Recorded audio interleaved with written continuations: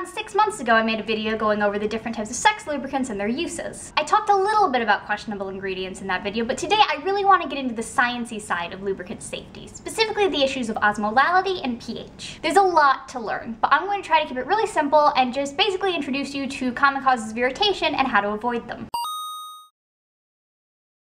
Is sometimes referred to as the concentration of a solution. It's the measure of dissolved particles per unit of water. The osmolality of a water-based or hybrid lubricant is super important because it can affect the homeostasis of your nether region's mucous membranes. It's a hydration issue, basically. If something has a lower osmolality, i.e. a higher concentration of water than your body's natural cells, then your cells are going to pull water from it. Too much water and your cells can actually rupture. And if something has a higher osmolality than the body, it's going to pull water from your cells, dehydrating and potentially killing them. A study published in 2008 in the American Sexually Transmitted Diseases Association's official journal found that the osmolality of a lubricant is closely linked to its potential for mucous membrane irritation. Hypoosmotic lubricants with a lower osmolality than the body cause negative mucus production in test subjects, while hyperosmotic lubricants cause irritation and tissue damage proportional to their level of osmolality, up to severe damage from the worst offender, Astroglide. A 2006 study conducted by a research team led by Craig W. Hendrix, a clinical pharmacologist at Johns Hopkins, found that hyperosmotic lubricant ID Glide caused significant rectal tissue damage in humans and may actually increase susceptibility to HIV and other STIs. For comparison purposes, the average osmolality of vaginal mucus is between 260 and 290 milliosmoles per kilogram,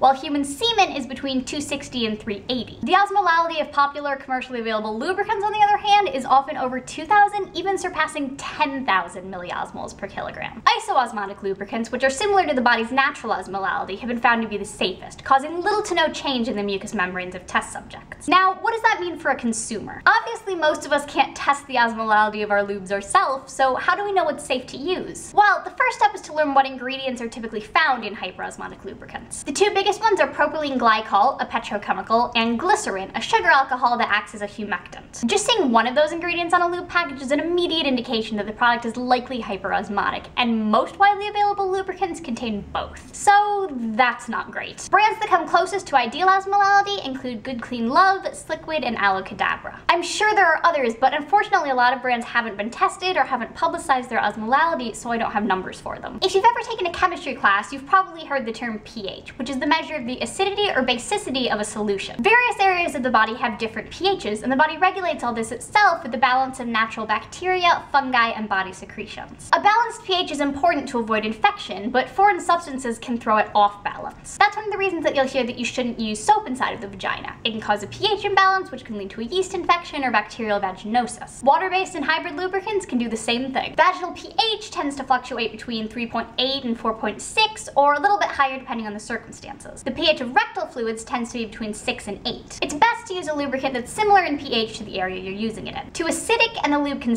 sting too basic and it can cause a bacterial infection. Unfortunately, lube pH also doesn't tend to be very publicized. Lubes with a pH in the range of vaginal safety include, again, most Sliquid lubes, Good Clean Love Almost Naked, Aloe Cadabra, as well as Yes and Blossom Organics brand. Lubes in the rectal pH range include many of the Lubes and Sliquids Organics line, as well as Earthly Bodies Waterslide. I'm going to link a really great chart from a presentation by Sarah E. Mueller from Smitten Kitten that lists the pH values of about 50 different lubricants, as well as their similarities to vaginal and rectal pH pH down in the description. There's a lot to learn about lube, and this video is only the very tip of the iceberg. I highly recommend checking out Smitten Kitten's badvibes.org for even more information. I'll link that in the description as well. I really hope this was helpful and simple enough to understand. Let me know any thoughts or questions you have down in the comments, and I'll see you next time.